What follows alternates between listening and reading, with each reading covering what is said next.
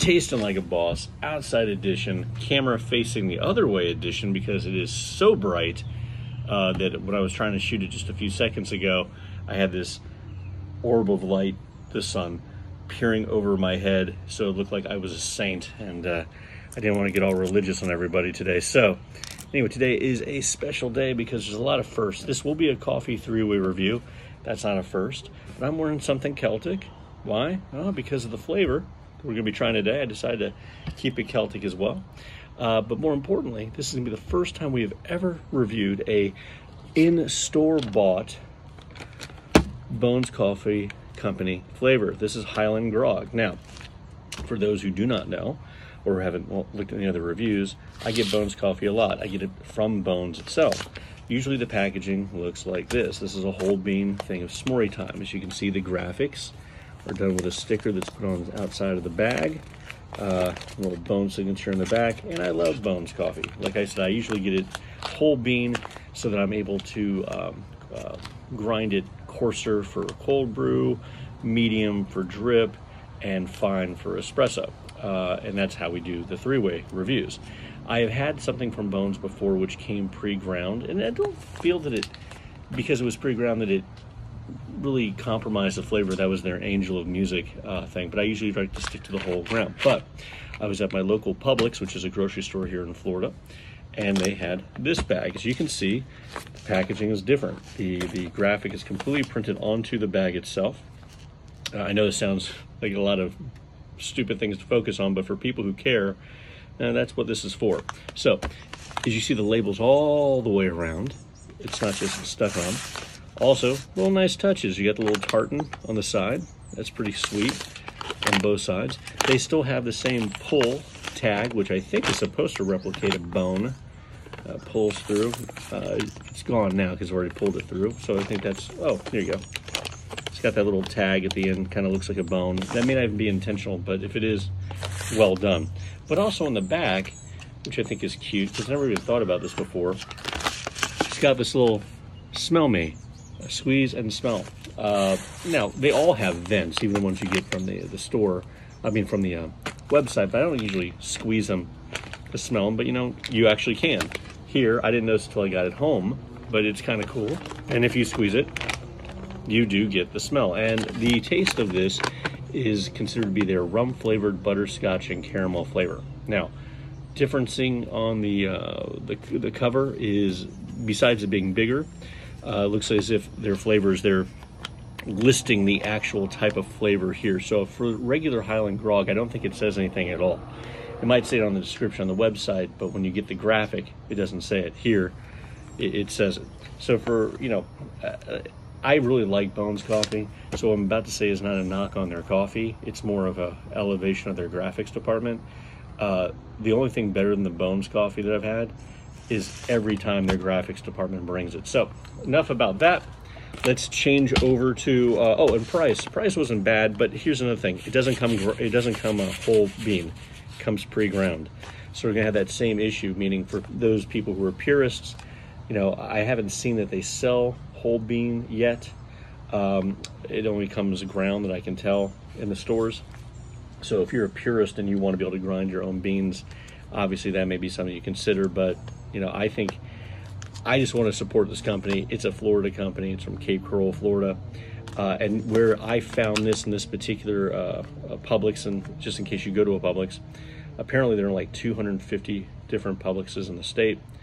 And I found it at the end cap that was focusing on Florida companies. They have some other coffees, uh, which I may have to review at some point, hot sauces, honeys, things like that.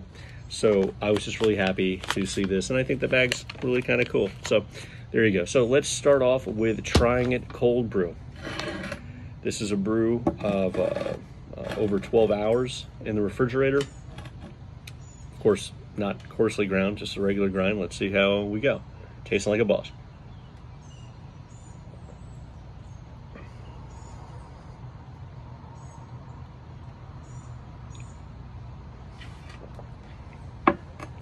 I really do like it.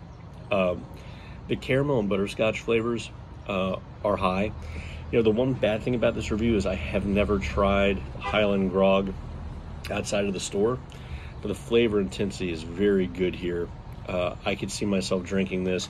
I think I like this better than the salted caramel, which has the little Salt Bae guy on it. Though I like that image a lot. I, I think I like this one more. I don't know if it's because of the butterscotch, but oh, by the way, the smell is incredible um, on this one. Uh, so you don't lose anything in the transport of the beans to the store and everything else. Uh, when I opened the bag, I was hit with the smell. It was great. When I was brewing it, I could really, really smell it. Um, not so much the cold brew, but when I was doing the, the drip. So, thumbs up on the cold brew. Let's move over to the uh, regular drip, which is uh, what I know most of you probably do. As you know, I'm not a, a big regular drip kind of guy. And yes, I'm going to use a Bones mug. It seems more and more as if I'm paid by Bones. I'm not. I just like their stuff. So, here we go. Tasting like a boss, auto drip.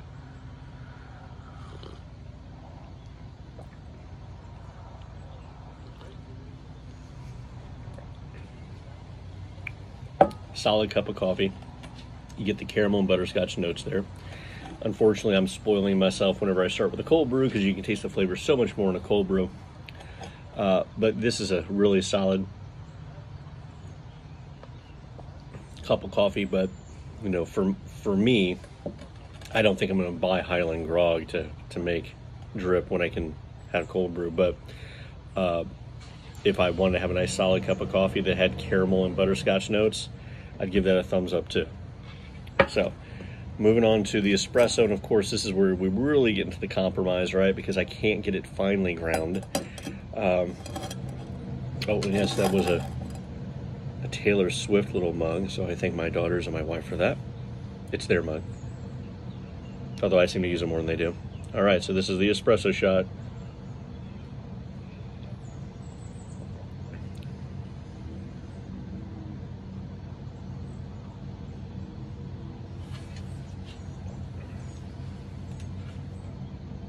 I don't hate it.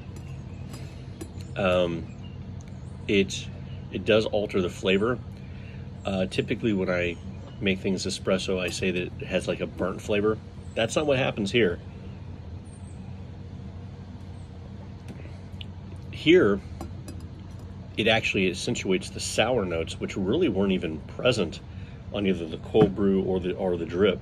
This is actually pulling some sour notes out. And typically, I don't like that at all. I don't like having that sour flavor in my coffee. But here, it's not as offensive. Um, actually it's pretty good. It's it's almost like it's just a completely different type of coffee. I don't I wouldn't call it espresso.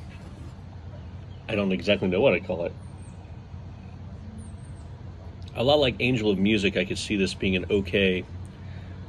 Well, this would be an okay, an okay after dinner little tiny espresso where someone goes, "Hey, what's this?" They, they would probably definitely ask you.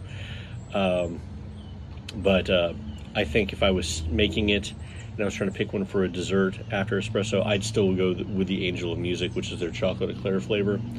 Uh, so the way I, way I rank them is this. This is interesting. Maybe do this if you've got like a Irish guy like me coming over, uh, or if you've got a uh, somebody who wants something different so you can show off your Highland grog bag. So this I, I give eh, five, five and a half out of ten on the drip, you know, I give it. That's on a six and a half, seven. That's that's a that's a pretty darn good cup of coffee. I probably should give it higher. It's just it's not my thing. But on the cold brew,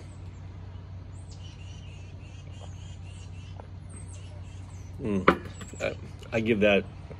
That's a good nine, nine and a half. That's up there with one of their best ones. So hopefully that helps. Uh, and if you're in Florida or you find yourself in Publix, uh, even if you have your Bones coffee that you get from their website, which I know I'm going to continue to do, I think I'm going to go out of my way and get it at the store as well. Because if it allows people to uh, expand their, their base, especially for companies out of the state that I love, and which is my home, uh, uh, that's what I'll do. So Highland Grog. So should have read this out. Put on your kilt and break out the bagpipes for a truly exceptional cup of coffee. Spiced rum flavor with notes of butterscotch and caramel will have your inner Highlander gleaming with joy. Well, I seem to be beaming with joy, so I'm going to have a great rest of the rest of my Sunday. Hopefully, you do as well. Keep tasting like a boss.